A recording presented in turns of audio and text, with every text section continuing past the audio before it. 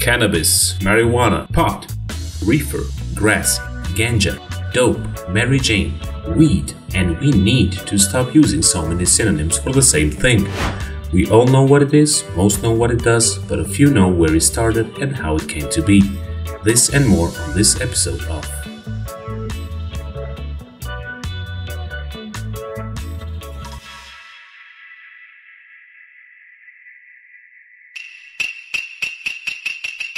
The earliest found traces of cultivation of cannabis have been uncovered in Japan, more specifically in an archaeological site in the Oki Islands dating around 8000 BC, which the finders argue that it was probably being used as a food source or maybe even as a psychoactive chemical.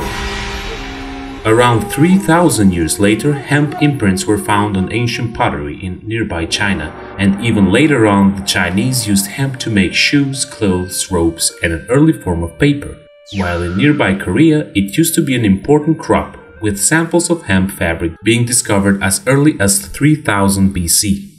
The first documented case of its use dates back to 2800 BC, when it was listed in the Emperor Shen Nung's, regarded as the father of Chinese medicine, pharmacopoeia.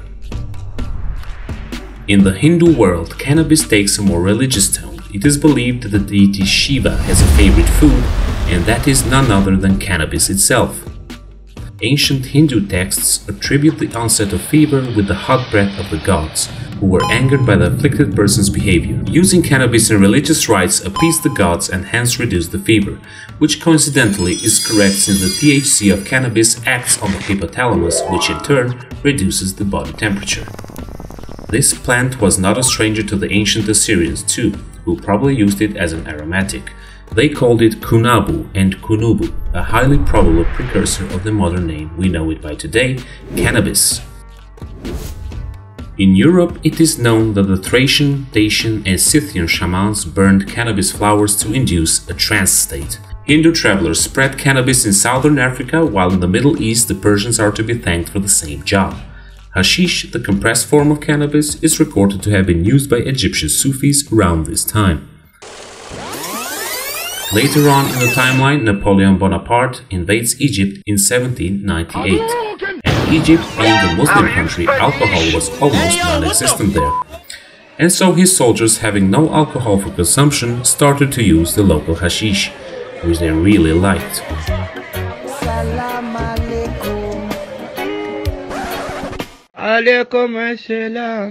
Now Napoleon's soldiers proved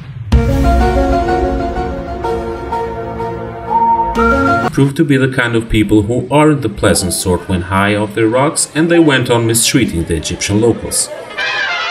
One general, Jacques Francois Menou, who was married to an Egyptian woman, was appalled by his troops' actions and issued an army-wide warning to act as French and not as barbarians, blaming the hashish intoxication in the process.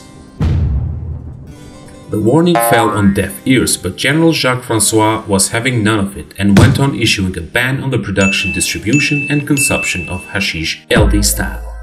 It's important to notice that Jacques Francois converted to Islam during the Egyptian campaign. He honestly tried to form a bridge between the French and the Egyptians. He even changed his name to Abdallah de Menou and was well connected to the Sunni elite of the time who saw hashish consumption as haram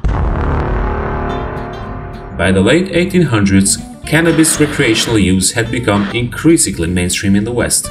Around this time, Egypt, many of the British colonies, Greece, DC of the United States introduced some forms of restrictions on cannabis use. And a few decades later, the United States in 1937 passed the Marijuana Tax Act. It prohibited production of cannabis and even hemp. Some scholars argue that this law came into being to destroy the US hemp industry. However, things changed during World War II. The cheap and relatively low maintenance production of hemp was needed to produce uniforms, canvas, and rope for the army.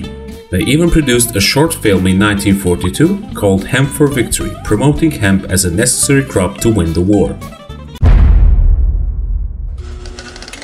More atomic bombs have been exploded on these few hundred square miles of desert than on any other spot on the globe. During the Cold War, a secret military project was underway.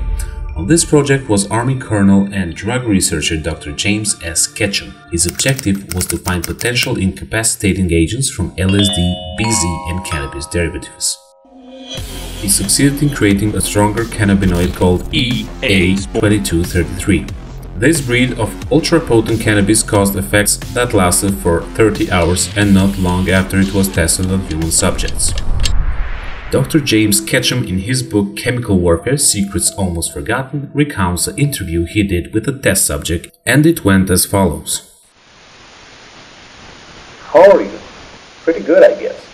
You got a big grin on your face. Yeah, I don't know what I'm grinning about either. Do things seem funny, or is that just something you can't help? I don't know, I don't know, I just, I just feel like laughing.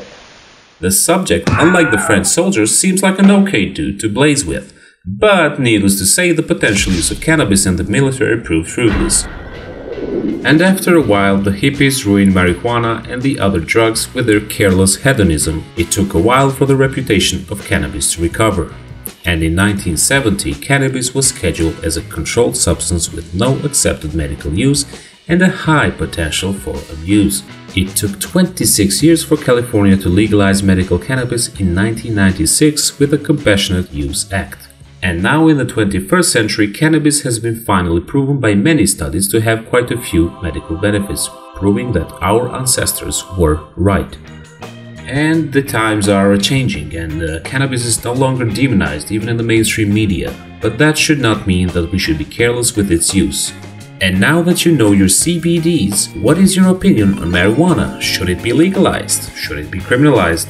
Leave your opinion on the comment section down below and let's end this video on a high note.